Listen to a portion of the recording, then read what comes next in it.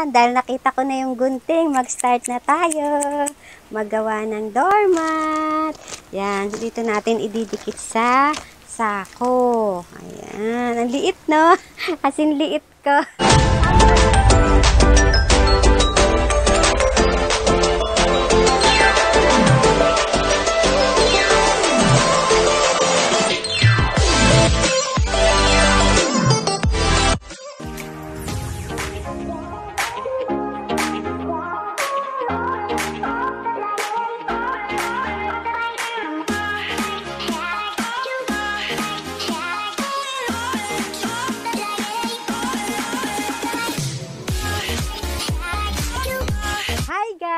Welcome to my channel. For today's video, gagawa tayo ng doormat. Ayan, made of scrap syempre. Meron tayong sako. Kailangan natin yan.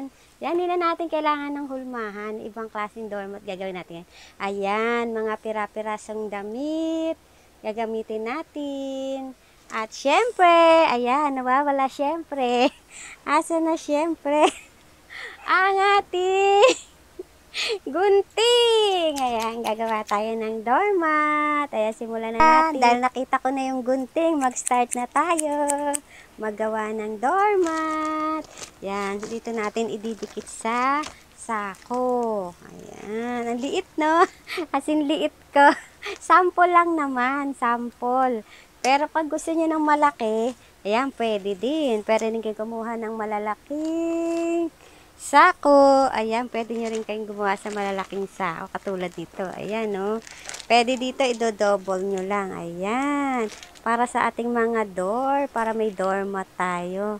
Yan, made of scrap materials naman. Mga pira-pirasong tela. Na hindi na natin ginagamit. Pwede nating pakinabangan. Gawin nating doormat. Ayan, mag-start na tayo. Itupitin muna natin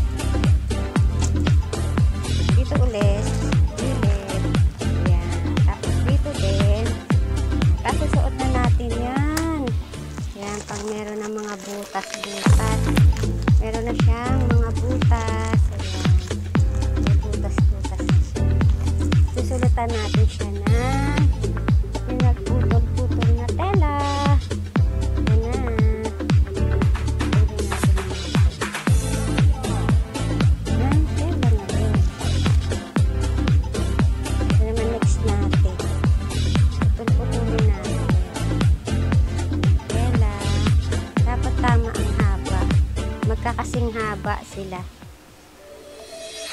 Dapat magkakasing haba. Ayan.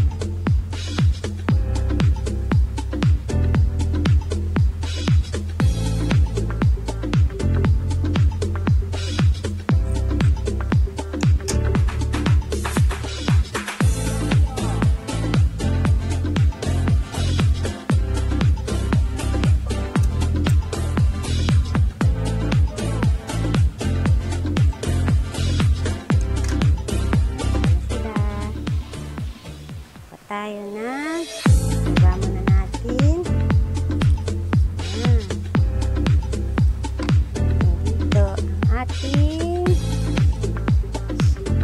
ang ating sako. Lulusot-lusot lang natin siya. Guys. Ito lang oh.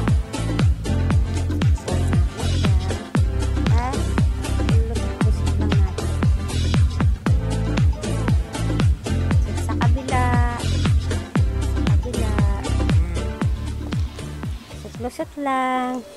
Ayan. Tapos, ibubuhol natin siya ng dalawang beses.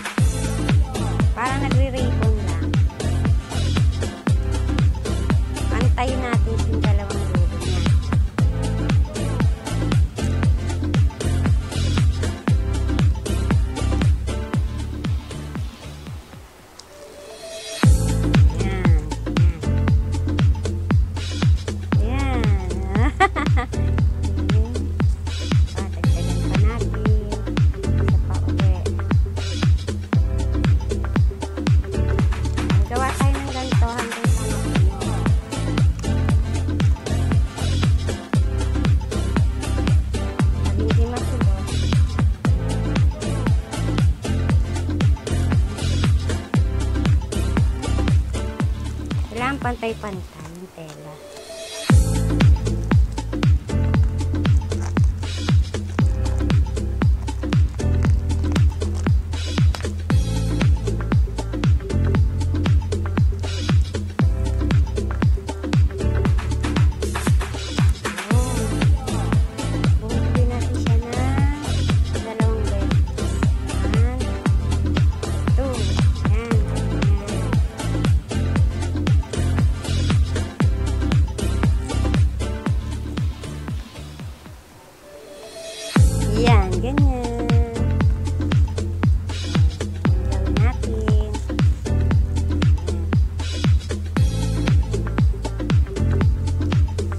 Guys, pupunuin lang natin to para maging doormat. Yan, ganyan. Pupunuin natin to. Dito, hanggang dito. Bubutas-butasan natin. Butas-butasan. Hanggang sa mapuno ng tela. Ayan, para mapuno ng tela. Ayan. Guys, hello. Ayan. Napuno na natin. Ayan, napuno ko na ang aking doormat. Ito na yung. Ito na siya. Ayan. Puno na. Siksik na siksik. Ayan. Oh. Puno na ang ating doormat. Nakagawa na tayo. Ito na yung finished product. Ayan. Ang finished product. Kailangan punong-puno. Siksik na siksik. Para pag-apak, hindi magtatanggalan. Kailangan matibay din ang pagkabuhol. Ayan. Dalawang beses ibuhol. Ayan ang ating doormat. Napakaliit kasi liit ko. Pwede kayong gumawa ng mas malaki dito. Ayan, kung anong gusto nyo, kung anong gusto nyo sukat. Ayan, pwede nyo gawin. Ayan, salamat sa mga nanood. Ayan. Thank you, thank you sa mga nanonood dyan.